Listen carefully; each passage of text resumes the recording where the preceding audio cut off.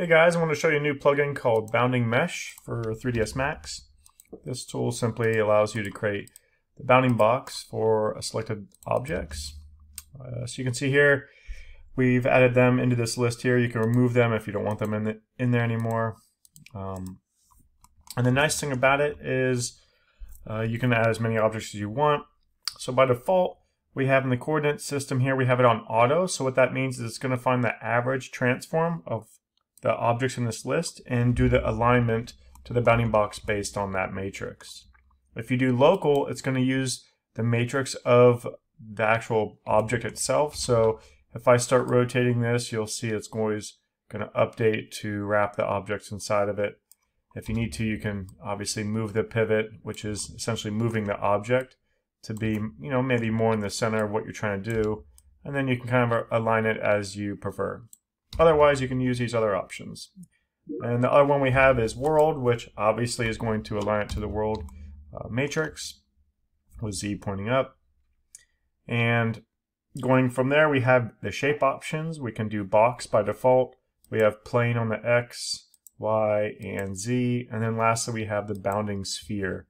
Um, and then you can adjust the sphere segments as needed as well.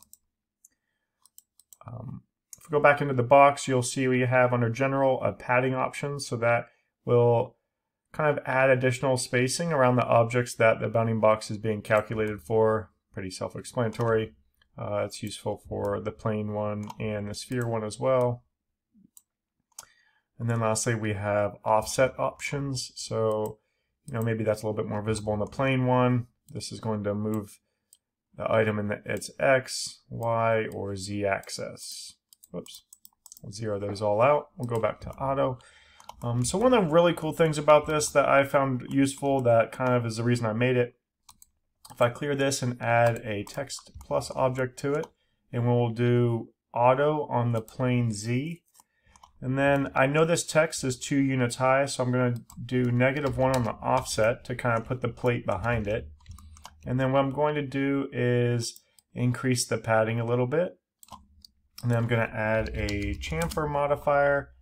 I will change my selection to all vertices and then go ahead and I'll increase uh, the radius amount and add some more segments so we get a nice rounded corners. And then what you can do is select the object, your text plus objects, and you can start typing more stuff. So let's do sprinkle donut. We'll hit enter and say, um, I love donuts. And you'll see that that backplate kind of updates in real time. So the nice thing about that is you always got something behind your text. And since we have it on auto, as we move the text around, you're going to see it update to always align to that text object. Um, so yeah, if you guys have any feedback or suggestions, let me know. Thanks.